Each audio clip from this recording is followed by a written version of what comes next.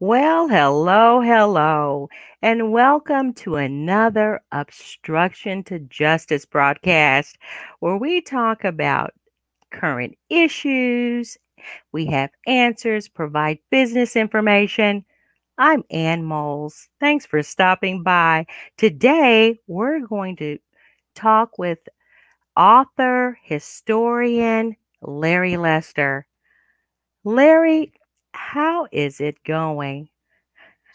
Well, thank you, Sister Moals. Uh, pleasure to be on Obstruction to Justice. Oh, I'm so glad that you made it. Now, here, I need to take it a little bit farther because not only are you a historian and author, but you're president of the Greater Kansas City Black History Study Group Yeah. and chairman of the Society for the American Baseball Negro League Research Committee. You got a lot going on, my brother. Very proud of you. Uh, thank you. I'm juggling a lot of balls. That is a good you and no pun intended, because Yeah. you are you're the guy when it comes to the Negro League baseball. You are the premier historian, the uh, elite historian when it comes to the history of our uh, great heritage of the Negro League baseball. And I just was very, very pleased to see that you are still very active in what you do with uh, the the baseball museum and not so much the museum anymore. We may Mhm. get into that a little bit, but you have evolved. It's like there's always a starting point, but you have evolved into continue on telling the great story of the history of the athletes of of old and which opens doors uh, for the athletes today. Uh, we really, uh, there's so much to cover today, and I just am excited about it. But let's go out. I want to go out to your website, Okay. and we're going to go out here and take a look at the website that you have because it's very interesting. Very interesting. Now, for all of you all who are interested in baseball, interested in African American history, uh, you definitely need to go out to LarryLester42.com. That's L A R R Y L E S T E R 42. That's the number 42.com and check it out. It is very, very timely when it comes to uh, providing uh, an overview of, of great historical research, pictures, images of baseball, the baseball years gone by. Mm. And of course, it just sets it up for more time in sports. And we get excited about our current current uh, people that are still in sports. Now, I don't know too many people who are currently uh, uh, doing the the sports thing. I'm not a big on sports, but how about those Chiefs? They're doing all right. they are doing all right, aren't they? Now they're playing. They play uh, football. You're into baseball, but to me, it's all good. It's all good. It just makes me stand up and cheer. I tell you, it It's does all about that. that competitive spirit. The competitive spirit, and not only that competitive spirit, but the perseverance hmm of the spirit. Eh, Now, when it comes to history, we know our African American roots uh, of history, historical accounts of what people of the past have had to go through, and really, it's it's now even though it, historically African American Black history, we still perseverance is kind of part of it, isn't it? Yes, perseverance, resilience, uh, Mhm. looking for a little redemption, some respect, you Mhm. know, all Mhm. all the R's, uh, recognition, just it all it all comes together in trying to respect the history and the road that they paved for us, the younger generation of African Americans, to prosper.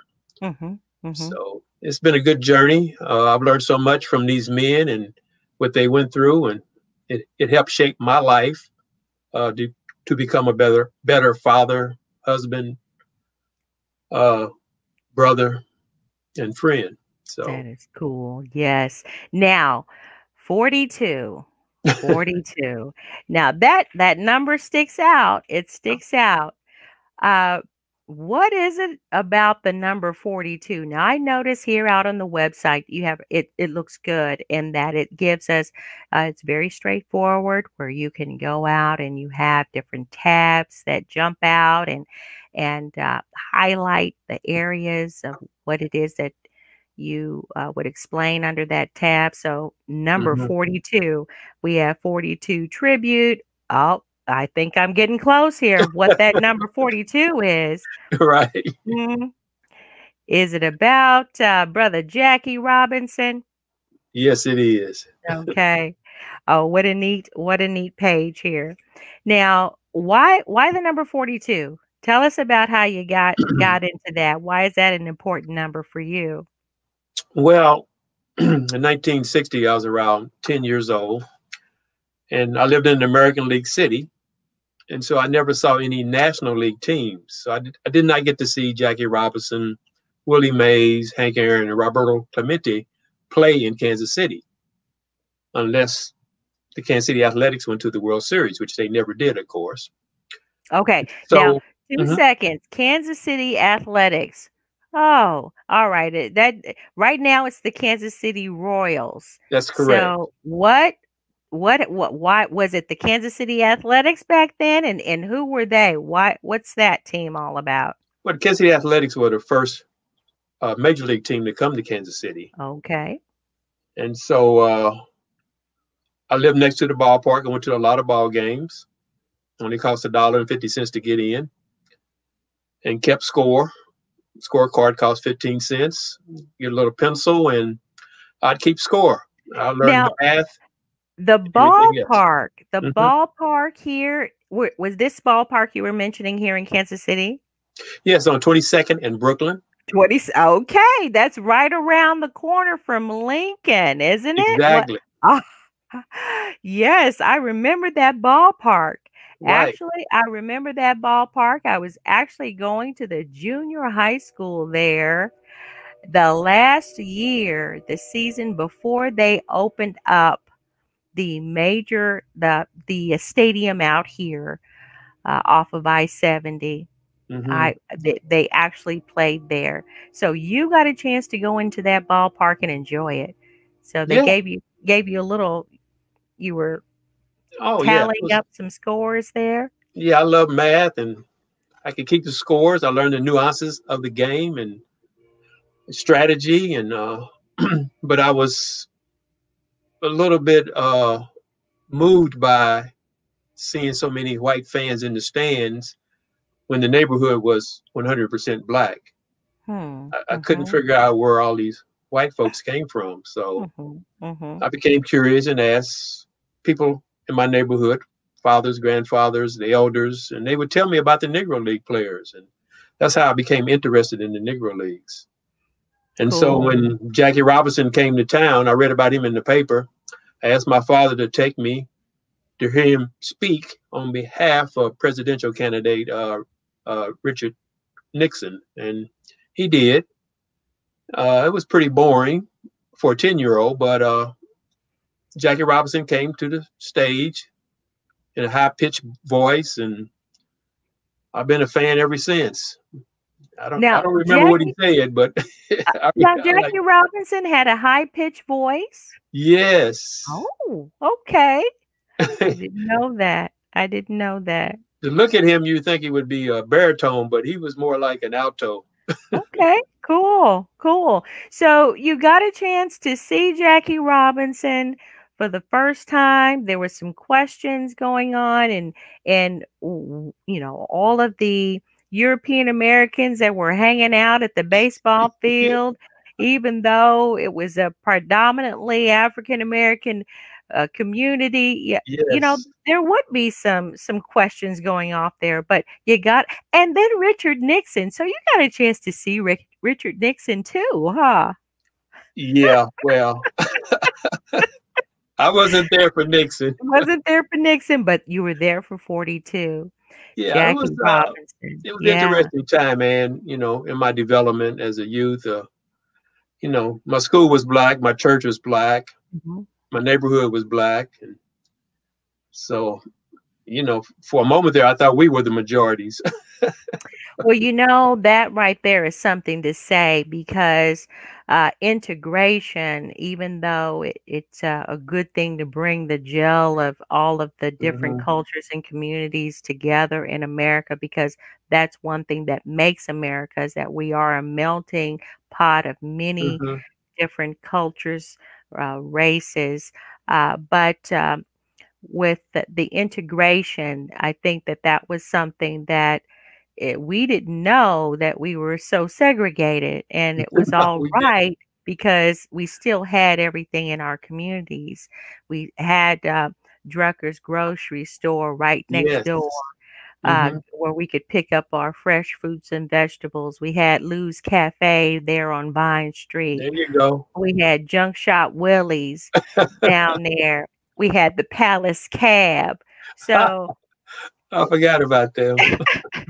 and, and we had the A&P, which was a little ways away, Yeah. but it was the A&P, even though it wasn't a, a African American store. We, we we went to you know Drucker's grocery store where we wanted to to hang out with, and you know he still had the candy, he had everything, everything a kid would need.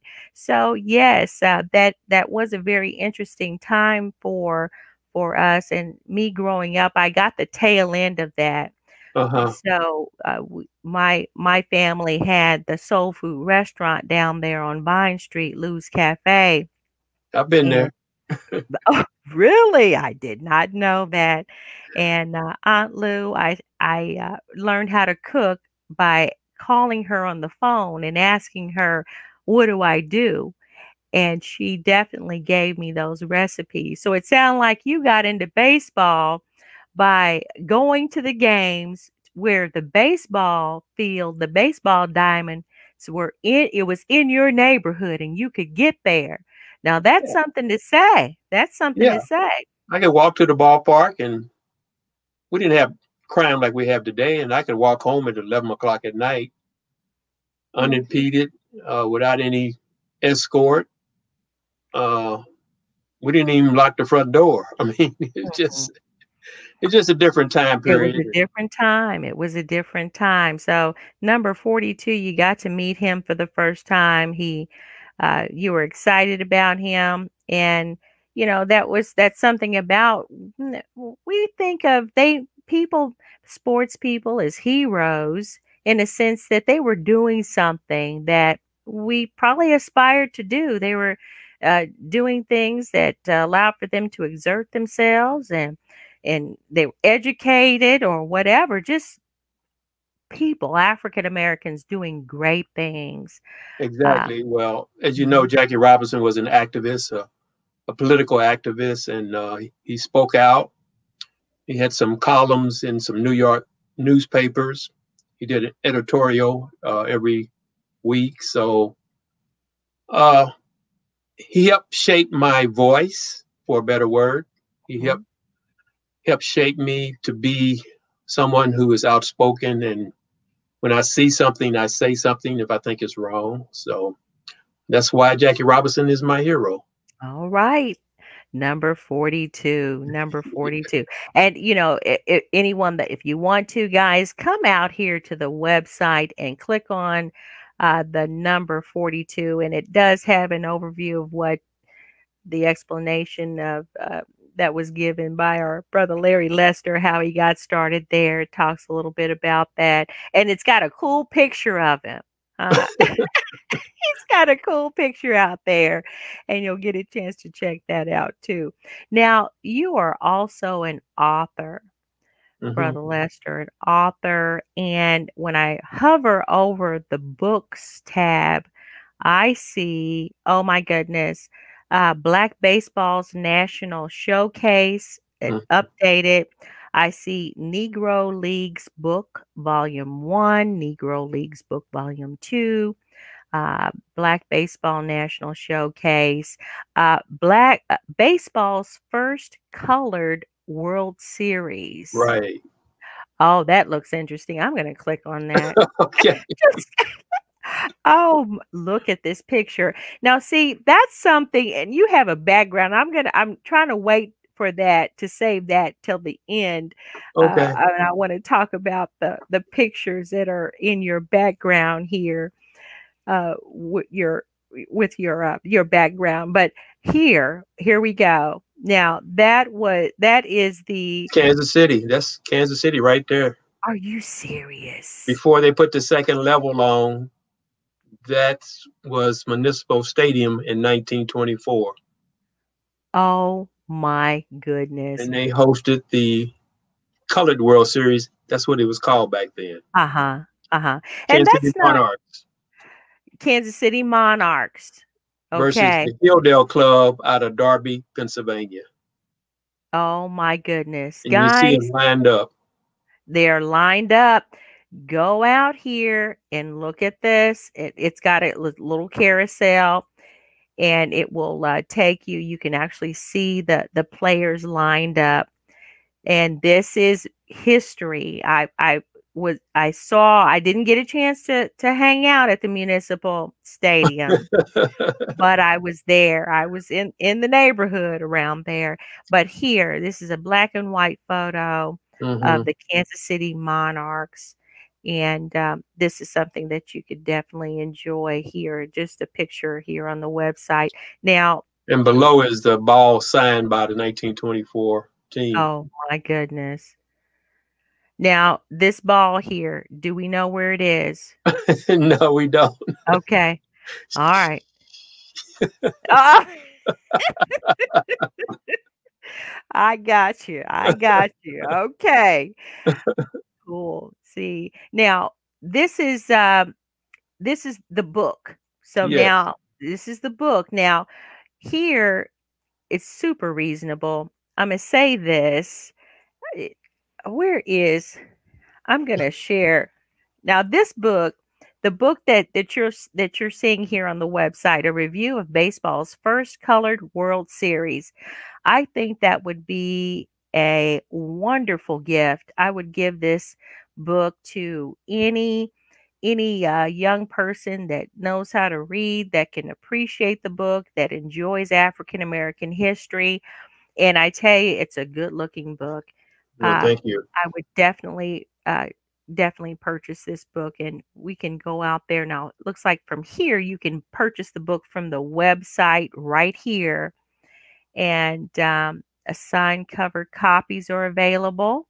hmm Okay, so that's something where the author can sign it, and that's part of history. Now, I'm gonna tell you, this brother has gone out. I'm gonna stand on my little soapbox a little bit. brother Larry Lester has gone out and he has studied this. This is a gift that was given to him, the desire to want to know about the heritage and the legacy of African American people. And we, as African American people, I, I know that there are many cultures that get to enjoy their culture. You have the Jewish culture and they have different ceremonies and the cultures of what they do, how they celebrate their religion. You have uh, Spanish cultures, Mexican cultures, all different types of cultures, Asian, Chinese uh, cultures. And the first thing someone wants to say is that Black people don't have a culture. Well, shame on them because we certainly, most certainly do. Yes. And this is why historians are so, so, so very important. So very important. yeah. now- Black baseball does matter. It you better believe it. Because with that, there's so many stories about the uh, Negro League, black baseball, the perseverance. 1924 was not a pretty time for us, for African Americans. It when it comes to the inter in trying to get along and and just be just be right uh we were we were uh, persecuted in so many different ways lynching was still super uh big it was big going on during that time but yet and there's jim crow south the jim Yes. crow segregation that these black men had to get through and press through and still hold their dignity to know that hey they were super gifted super talented huh had it definitely going on so this was this is part of our culture uh now we do more than sports but there yes, there is a character there isn't there a character development when it comes to uh, number one they had to go through so much it being 1924 but Well, yes, we had Mhm. prohibition and you know the Jim Crow laws, and Mhm. of course, it, we still have some res- resistance today. I call it the black tax, where we're criminalized, marginalized, and sometimes chastised for just walking down the street. Just- yeah So these men, they pay the black tax up front, and we're still paying that tax today. hmm hmm So, but th- this was an interesting uh, journey. Uh, I flew to Philadelphia, took the trolley car to Darby, Pennsylvania, and interviewed the residents who were still around, alive, old enough to remember the uh, 24 World Series, and got some great interviews. oh my goodness So that was one of my first books, but uh, i would got definitely lucky. this. I would definitely purchase this for any young person and uh, make sure they keep it in their collection. If you're going to get them a video game, and how much do those video games cost nowadays? huh? You, we can certainly pass along some heritage. A lot Uh, of change. heritage for uh, retail thirty nine dollars. I'm going to say it. I think that's that's great. Now we got we talked about that book that that's but there's other book options to you know definitely um, that you can check out. Now let's look at Malloy the Malloy conference. Okay. Mm. Yeah, the Malloy conference looks very interesting to me because what I in this I it looks interesting because I I've talked with you about it. But you have testimonials and then there are different places that you've been. Tell us about what the Malloy conference is all about. Well, the Malloy Conference is an academic conference where professors, historians, and authors can come and give a presentation on a specific topic regarding Black baseball history. Uh, many of these topics are not the norm, and so this gives these people an opportunity to talk about something that's not in the mainstream. Uh, we the conference lasts uh, Friday and Saturday. We have an awards banquet on Saturday night. Uh, we go to the ball game on Friday night. We also have a players panel, uh, usually on Saturday afternoon, where you'll see, like in this case, the Satchel Paige family came in and did a presentation. Uh, we might have four or five ball players do a panel, and uh, we have we have a great time. We really do. Uh, we raise monies uh, to have four $1,000 scholarships to a high school senior on a national Oh. level and two $500 library grants on a national level. It's not local. Okay. And so anybody in the world can apply for these scholarships. It's on the National Scholarship website, and we get hundreds of essays about a, a specific topic, topic that we send out. And we have judges uh, who, who go through the process of reading every essay and say, "This is our four winners this year, Larry," and send them a check for a thousand dollars, uh, non-restrictive. Okay. that's just non-restrictive, so they don't have to use it, say, for a particular thing, but uh, they uh, is it, it they don't have to use it for particular things. So they it's a thousand dollar scholarship that that will just to help them along. Is that Right. it? Most scholarships are earmarked for books only Mhm, or tuition only. Well, sometimes you need a little extra cash to That's it. get there. help them along sure uh, i definitely i agree with that and that's that's super now it looks like the last conference here was held in Kan- kansas city was in 2016 so Uh, yes. Uh, we had a great turnout, one of our biggest conferences ever. Oh man, people came from everywhere. We have people come from Canada, South America to the conference. cool Uh, it's a it's a full blown conference. Former oh, oh well anyway, some of the some of the children, uh, daughters and sons of Negro League players show up. and We Mhm. honor them, and, and we give out awards like uh, the MVP award, which stands for the most valuable partner. Uh, the person that raised the most money, they get a MVP award.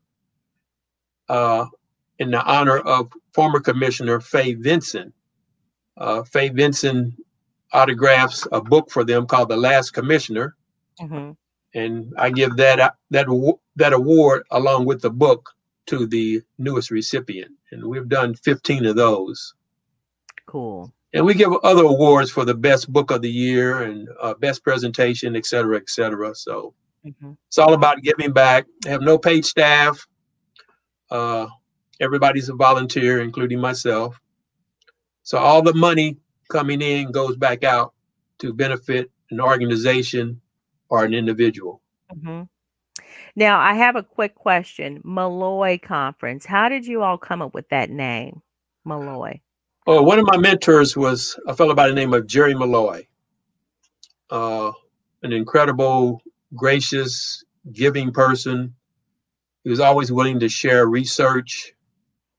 Uh, he died suddenly at a very young age, and uh, my committee we thought it would be appropriate to name the conference uh, the Jerry Malloy Negro League Conference instead of just the Negro League Conference. Mhm. Mhm. So we advertise it as the biggest, baddest, and best baseball conference in America. Sounds like it is to me. And it, it these are volunteer efforts. And, you know, I'm a firm believer in when you're going to be a volunteer and you have uh, an organization that helps others, I believe the success comes when others participate in donating and volunteering too, right? Definitely. So, you know, you you don't just hoard things and hoard your time, hoard your finances, but you share in it. So you share in it. You guys are volunteers for sounds like you're a volunteer for all of what you're doing here. So all of the donations that come in goes out to the cause that it's called for that's going to help young people. And so I would like to definitely participate. Okay. Yeah, and volunteer and give what I can too. And then that makes it bigger. It's it's a it's a world of giving so that not only are, are the ones that are giving giving, but I get to give and it's a big snowball of giving, right? Yes, it uh, is. And we welcome all donations in any amount.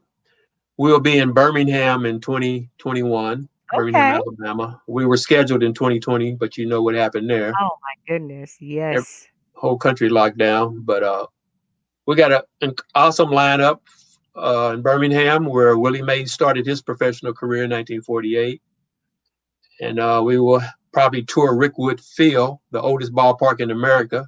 It's over 100 years old, where, where Willie Mays played and several other Negro League leaguers uh, also performed. Cool. Now it's it's cool that you guys named this conference after it. I don't I didn't recognize the name. Just a great guy, huh? Yeah, he, he's not a household guy. name. Uh, he stayed undercover most of the time, but Mhm. uh, anybody who ever wanted to share research, he was more than willing to help. Super. Uh, great mentor to me and others. hmm Super. Now, I, I I heard about some of the donations. Uh, once the donations come in at through the Malloy conference, mm-hmm. I understand that it goes out for the scholarships that are given to uh, to students, library grants. Mm-hmm. Now, how does that work? Uh, you know, I, you know, I hear about the library grants. You hear like the Gates Foundation; they give away uh, computers and all that to uh, certain libraries or libraries. So, is that well, what do you guys donate? What do you do for the libraries? Well, Sister Ann, we we see a void in many libraries in that they don't have any books about black baseball. Ah, yeah, that's something to think of. Sure, yeah. yeah. So, if if your library wins the grant, then we give you five hundred dollars to buy books about black baseball, about Negro League baseball, to fill your library. So some of these young kids can come in there and learn more about black baseball. There's a lot of children's books on the Negro Leagues, but mm-hmm. they're not in some libraries. Okay. Okay. And that, yes, that's definitely important. So, uh, say, for instance, you know, the library would be able to uh, get uh, the wonderful book about the first colored World Series, right? Exactly. Mm-hmm. So they could uh, afford to have that in the library where students can or and people can check it out and enjoy it and then turn it in. Oh, that makes sense. Okay. Sure. Yeah. no excuses. yeah. For sure. You know. Now, the uh another thing, what other um what other things does the Malloy conference support? Uh, well, we also have a grave marker project. Oh, okay. Okay. Uh, uh, years ago, uh, Dr. Jeremy Krock approached me about putting headstones on unmarked graves of Negro League players. Mm-hmm. Uh, the challenge there is we have to get permission from the family, mm-hmm. uh, which we've been able to do. Uh, some of the ball players uh, died in poverty uh, because they didn't have a way, a means of making a living after they quit playing ball. Mm-hmm. For example, wow. Papa Bell was a security guard at the city hall in St. Louis. Uh, but he, because he's famous, it was easy to raise money for him. But some of these ball players are unknown, unrecognized, and unappreciated. So we identified probably 50 unmarked graves.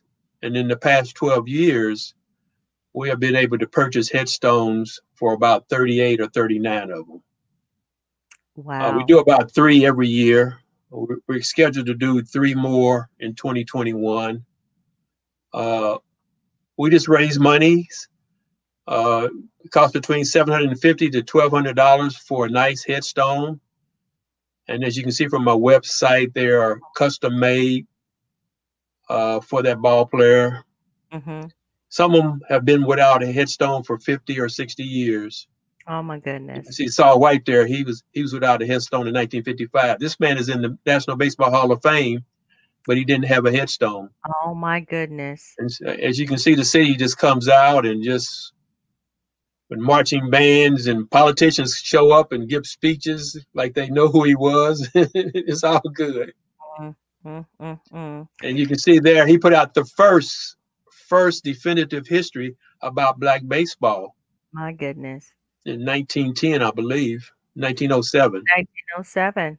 Mm-hmm. That's what it says here. So it, he he was long overdue for an honor, and we we travel from different cities to cities to uh, dedicate a marker. You know, we may be in Wichita, Kansas, then St. Louis, then Topeka, and then Chicago. We did 17 headstones at a Burr Oak Cemetery in Chicago one year. That's mm-hmm. where Emmett Till is buried. Emmett Till is buried there too. Mm-hmm. Now, for those who don't remember who Emmett Till was, he was the teenager that was uh, visiting his family in a southern town in the South and was uh, murdered for allegedly whistling at uh, a white American woman. Mm-hmm. Uh, so, and he was murdered. And his mother, just so that the world would know and not try to sweep things under the rug and hide and cover things like so many of the crime had been done during that time. Uh, she brought the body home to Chicago and Yes. put the body on display where everyone could see what happened to her son and that uh, horrific act of murder because of whatever lie. You know, we, we don't know the, the true history or story about it, but you know, sometimes we, you know, we had heard that it was a lie, wasn't true anyway. But the fact that a child was murdered, for nothing for the Yeah. hate because of the color of his skin. Now, Sad. very Sad. sad, very sad. And so many, and, and here's the thing I, I don't think, I think life is a, it's a journey. It's a journey and it Mhm. has its ebb and flows. Hmm. So with that, uh, you'll, you'll have like this great, great uh, ball player who was a historian in his own right. He wrote a book Mhm. about about baseball here. So he himself found himself in a bad way, even though, you know, he had done great things. And then your organization remembers that the the uh, plight of those that have passed on and weren't given the opportunity to be properly marked, you know, as far as their grave. So I think that is just a very honorable thing to do. And this is a you're you're a black organization. I will say that because you are Mhm. headed by uh, an African American man, which is yourself. You are African American. So, you know, headed by a great African American organization that is seeing about the history of African Americans. Now, this is way before February. It's not February Black History Month. I'm black. It's 12 months out of the year, y'all. My color doesn't change. I'm not vanilla or half and half. I'm not Neapolitan. You know, yeah, I'm we black celebrate Black History every day. not just in every day, every day. And I'm hoping that some young person would definitely get hold to this broadcast and be encouraged to know that it is it is beautiful to be black and it's a proud thing to be black African American every day and that black people do see about each other. Yes, we do. so in spite of what the media tells you, uh, we do see about each other, and that's the point. That is the point, and you can definitely see this great the grave markers here. He does Mhm. have uh, tribute to the Soul uh, Sol White, Sol White, King Solomon White. Huh? Now click on the grave marker header up Okay, above let's see. at the top. Just click on the header, Hmm. grave markers. Okay, yeah. Yes, you click right there. Mhm. No, no, not there, up Oh, above. just here. Okay. Uh-huh. Okay. And you can see some of the headstones that we have put on, Okay. we've developed. Okay. We have a great designer. They are nice. Mm-hmm.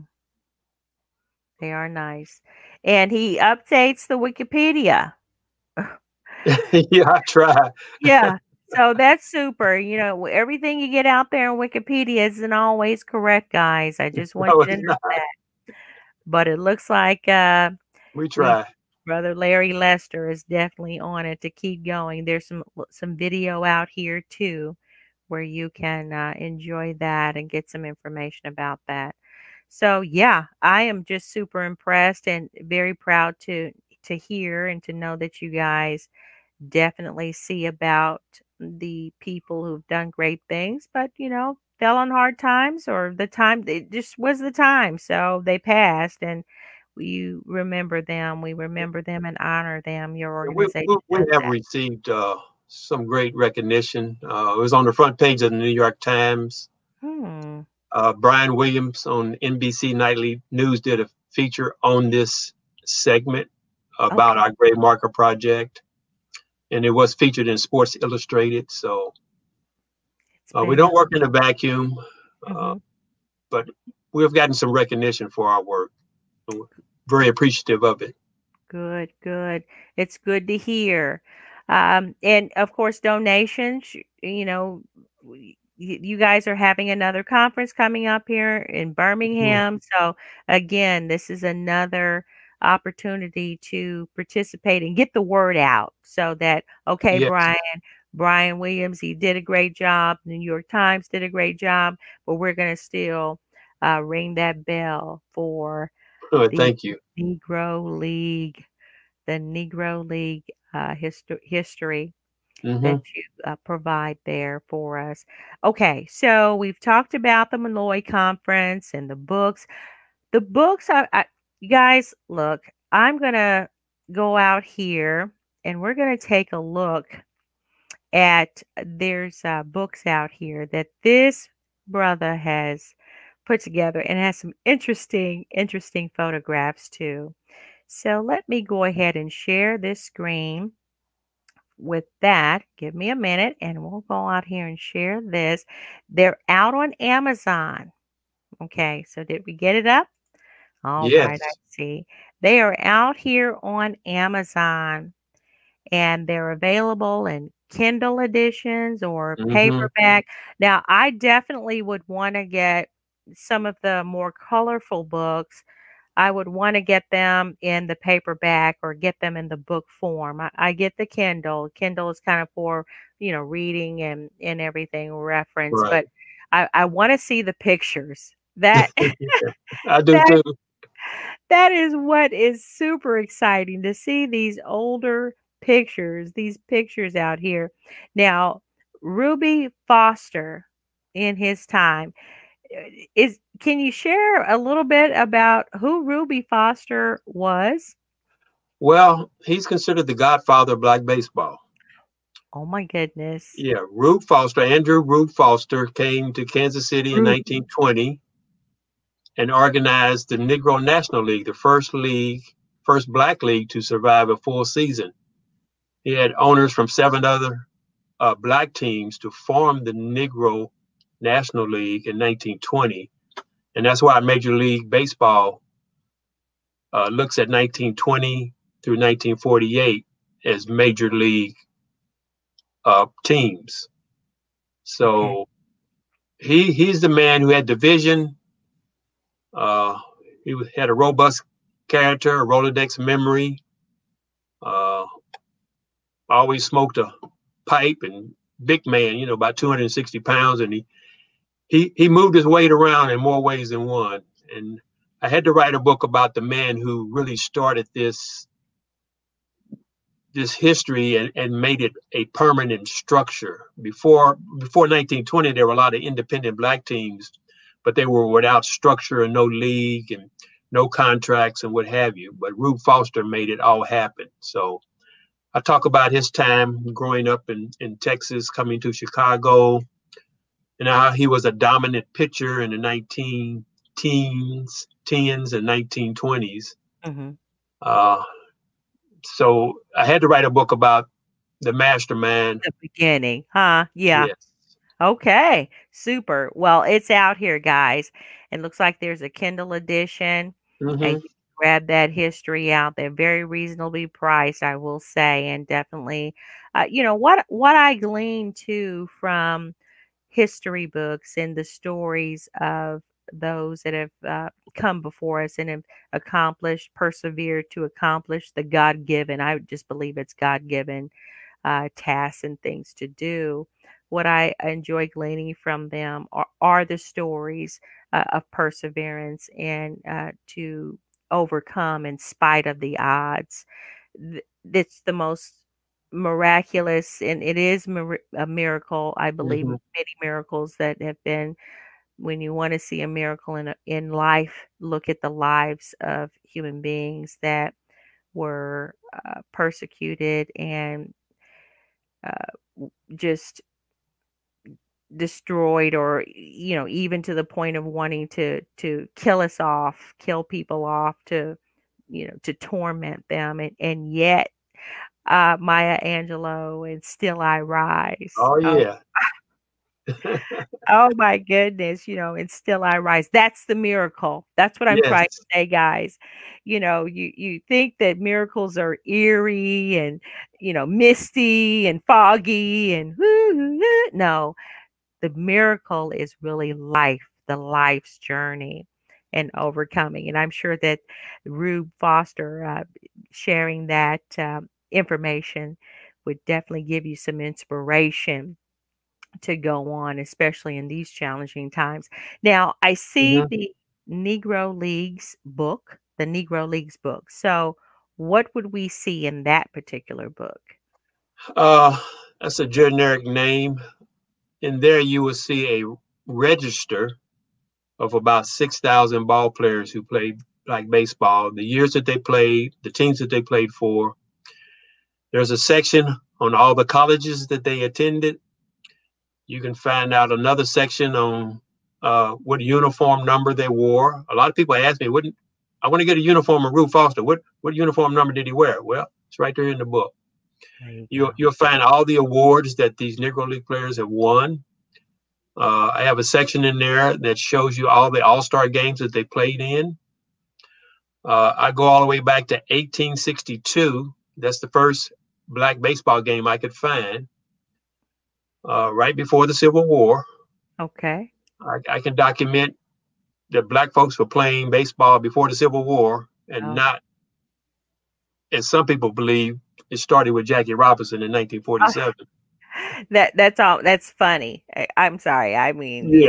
We've let me go ahead baseball and a long time. I have to laugh. Yeah, I mean, yes.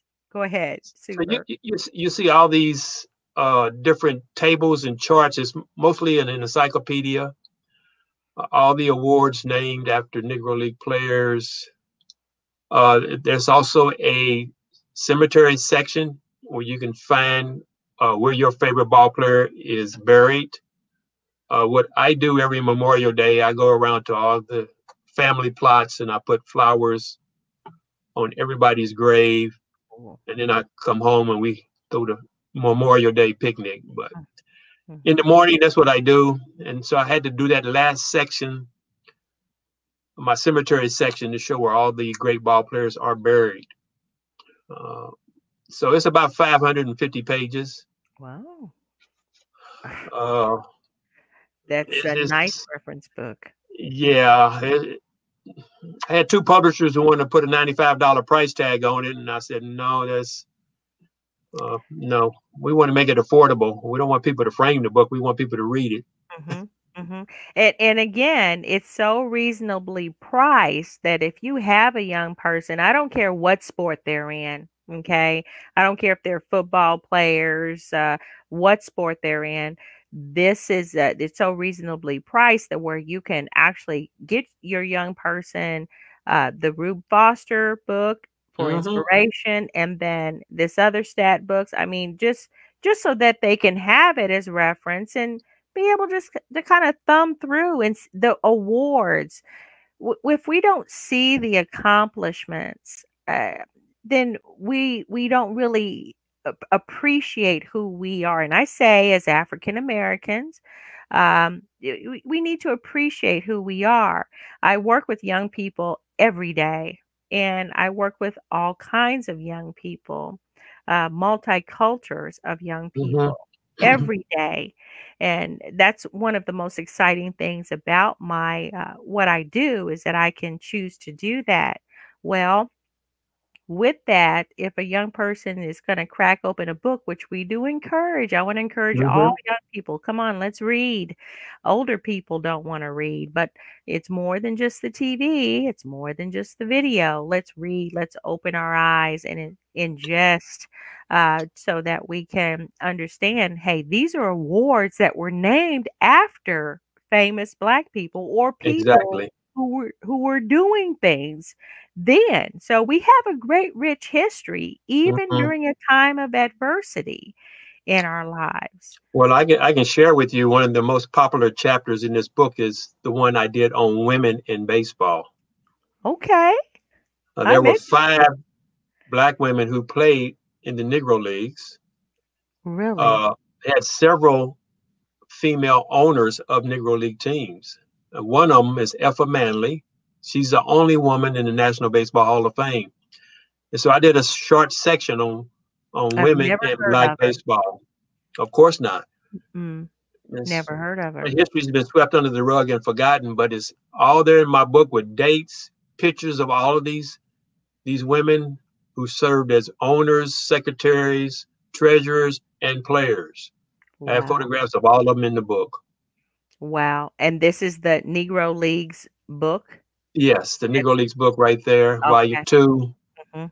Uh, you know, I have three daughters, so I have to represent them somehow in a way. Definitely. Good job, Dad. Yeah. For sure.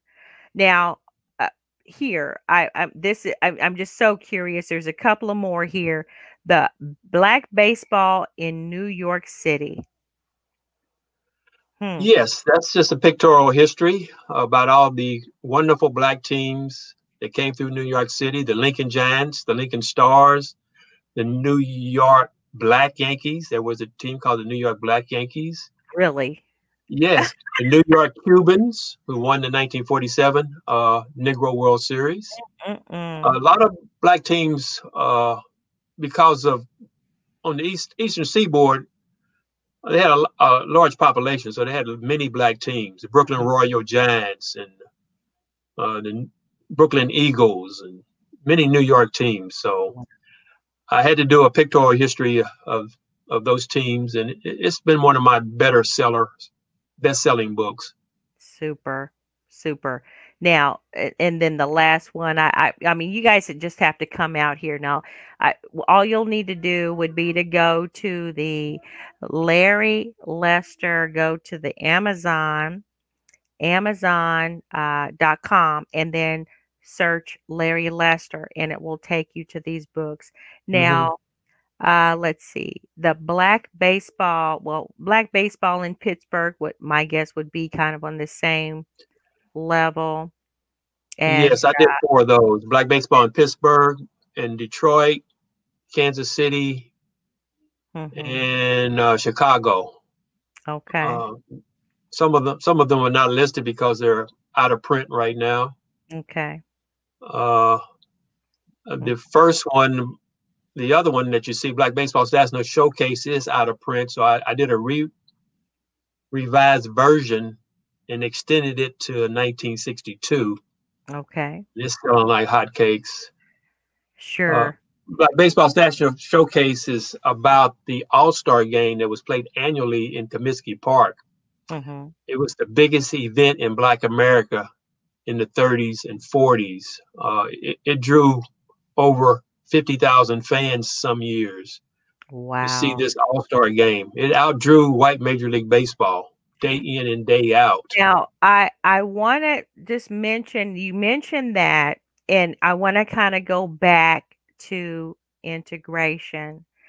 I look and I want to. I'm, I'm I know I'm going to get hit for saying this, guys, but but hear me out.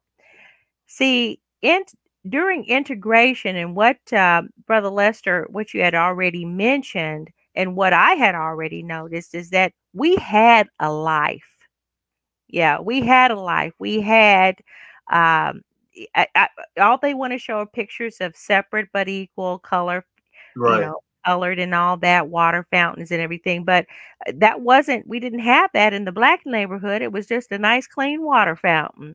You Water was good too. water was good.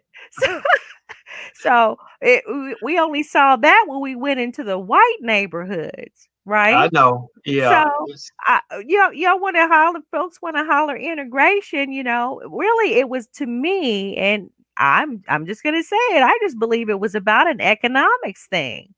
You know, well, it was. Um, the It was black teams were outdrawing. I mean, uh-huh. go back to Chicago, Chicago American Giants, the Negro League team, was outdrawing the Chicago Cubs and Chicago White Sox. Mhm. Fans, both black and white, wanted to see the best and rarest talent on the field, and they didn't care about the color of someone's skin. Sure. And so they went to see the black teams play because the- game was more up tempo, more stylish, button run, steal and run, double steal, suicide squeeze plays. Come on, come Uh, on. So they was like, wow, this this game is more exciting, more up tempo. It's it's a faster paced game, so this is where I'm gonna spend my money at today. Yes. Faster pace game, up tempo, stylish, Mhm. and and free. Free. now, some people say, "Hey, I, I don't want to go to the to the movie theater because they make too much noise." I want to go to the movie theater because it makes the crowd more exciting. I've gone to movie Yeah. theaters where they are so excited, folks are jumping out of their seats. It's, Yeah. I mean, that's Yeah. who you want to hang with. Exciting. Mm. that, You know, I you can be quiet at home. Thank you. Thank you. Oh my goodness. And here are a couple of great pictures. I just enjoyed them seeing you here uh, at the typewriter. Uh, yes, a typewriter. yeah, not a computer Showing your keyboard. age now. Yeah, a typewriter, number 42, getting your work in, making it happen, and uh, definitely signing those books, giving those autographs. We uh though it, just go out there guys. Go out to the amazon type in larry lester l-a-r-r-y-l-e-s-t-e-r Mhm. and you will see his work. You will see his work and uh just enjoy it. Okay. Okay. now who are the brothers behind you that uh, one that one in the pirates uniform there oh my goodness That's Roberto Clemente. is that who that is Yeah. I've heard the name. Now I get to see him. Very handsome brother. Very Yeah. handsome. Died in a plane crash uh, when Oh my he was goodness. young. He's in the National Baseball Hall of Fame. In the middle there, there's Willie Say Hey Mays, who is still around. He lives in San Francisco. And uh, then you got on Willie the? Willie yeah, Mays Willie Mays. is That's- still a- still around. He Okay. And so is Hank Aaron. Okay. Hank There's- Aaron there's the Hank Aaron. uniform. That's Hank Aaron. Hammer and Hank. Okay. Uh, he's a big time businessman in Atlanta, Georgia. Uh, Wow. Yeah. all all of them are great guys.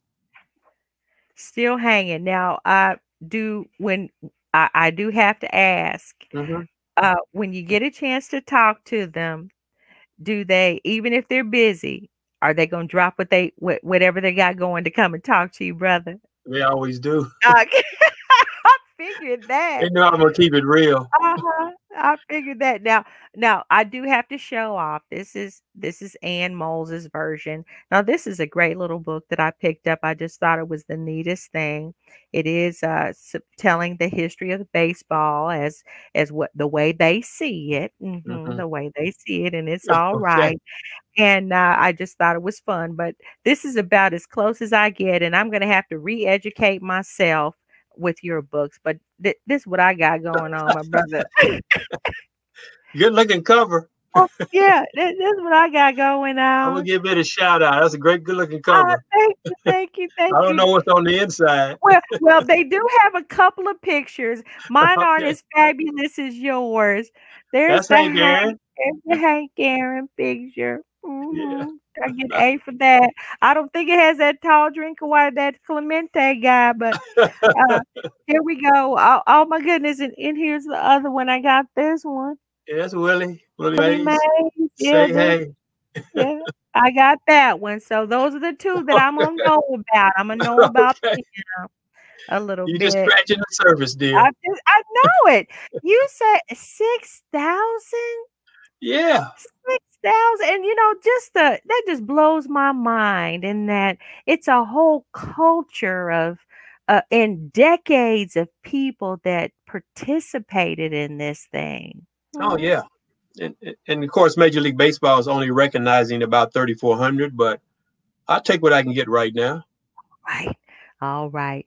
And you know, we're excited for you on that um on that where they are finally recognizing Mhm. the Negro League players. We commend you for your work and and your perseverance mhm, through all of the journey. Uh, we need historians. We need you, Brother Lester, and that's why well, you you. featured on today's obstruction to justice. We appreciate that you have uh, joined us today and that you are uh, still on on that on that battlefield.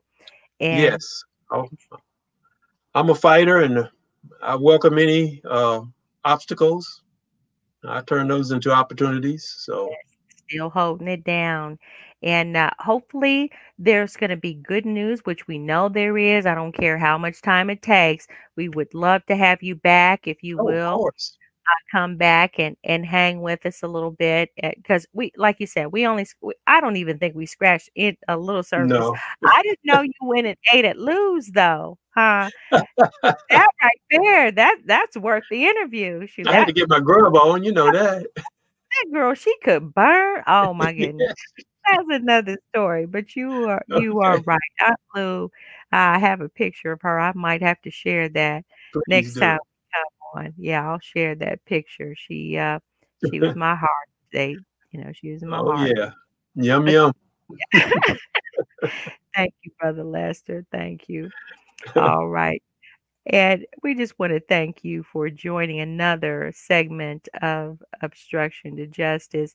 And, you know, just take to heart what we've shared today and just know that we are all Americans. If we were born in this great country, yes, we are all Americans and we all have a history, and all, all of our histories are super important and anyone that has a story to tell, tell it. And anyone that has a story to retell, retell that story so that your young people too will understand and be able to be inspired by it. And uh, just take care, and we'll see you next time. All right. Thank you for having me on Obstruction to Justice.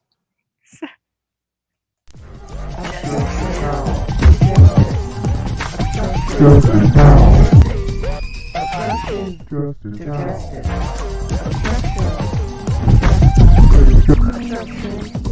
Justice. Justice. Justice. Justice now.